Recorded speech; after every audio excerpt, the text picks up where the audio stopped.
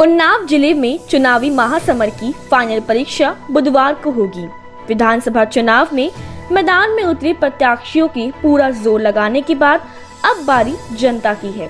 मतदान सुबह सात बजे से शुरू होगा। प्रशासन ने इसकी तैयारी भी पूरी कर ली है।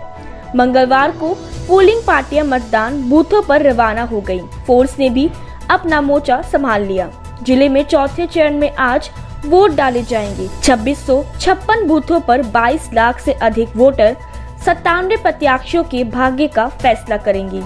जिला प्रशासन के सामने सबसे बड़ी चुनौती रिकॉर्ड मतदान कराने की है। इसके लिए प्रयास भी खूब किए गए हैं। अब ज़िम्मेदारी जनता की है। देश दुनिया की तमाम खबरों से जुड़े रहने के लिए बने रहिए सी लॉट न्यूज़ के साथ।